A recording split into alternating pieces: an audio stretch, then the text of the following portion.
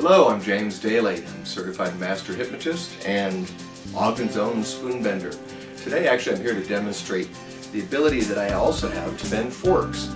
I know it sounds kind of silly, and spoons, forks, what's next, knives? Well, they're a little bit dangerous, but the interesting thing about this is by taking a fork in my hand and just focusing energy into it, I've got my friend James here that's going to join me today to, to help demonstrate this. We're just going to place this right here on the table here. And just put a little bit of energy into the fork. By doing this, it'll cause the fork to start to change. As you can see, it's beginning to happen right now. As we watch the fork, without touching it, just putting energy into the fork, we can cause this to slowly change. I'll tell you how this all started for me is when I was a senior in high school I heard a news report about the Israeli psychic. He went to Stanford Research Institute without ever touching a piece of metal that was sealed in a glass tube in a ray of red room down the hall, he was able to cause the piece of metal to break into two pieces. The scientists could not figure out how in the world he had done this. Yeah, he did it in a laboratory situation. Really? And uh, it In was a laboratory?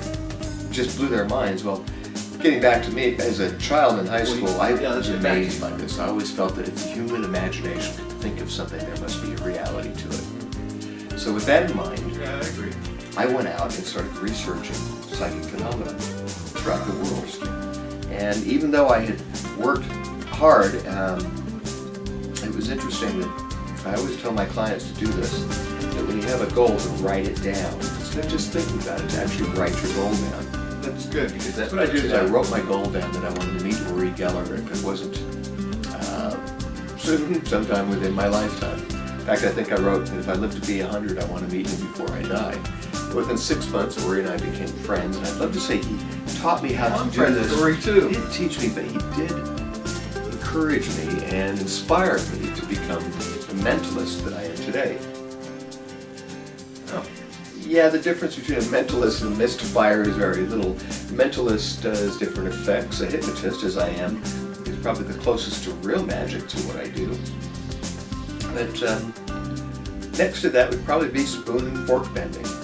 Simply by just putting a little bit of energy in here, you can see that the spoon or the fork will start to bend. And now, look, look, look, you can see it starting to go. And there it is, as it rises. Keep going. Wow, that's right. Look at that. And it just keeps bending. It's moving by itself and bending. All by itself. Keep going.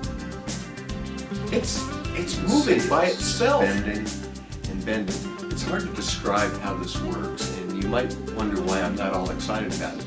Perhaps Yeah. I got excited about it, that would be telegraphed. Just bent a fork by touching mind, That this wouldn't happen.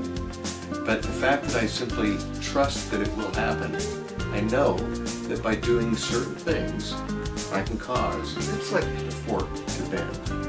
And as you can see, that is truly a badly bent fork. wow. Pretty awesome, isn't it? That is What do you- unbelievable. Can I pick it up? Can I examine it? Go ahead. Sure, feel free. You can pick it up. Look at that. Yeah, it's a real fork. Really badly bent fork. Well, thank you, James, for joining me. And thank you for watching this video.